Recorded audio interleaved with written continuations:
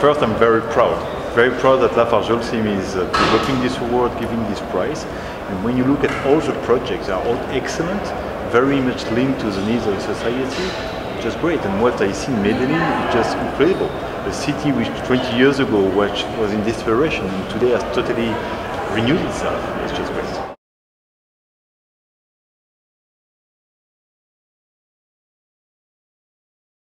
That we, LafargeHolcim, we can show to the world what is achievable with our products. That we can really be uh, you know, in support of all, all, the architects and all the new ideas which are sustainable and help us to do a business in a better way.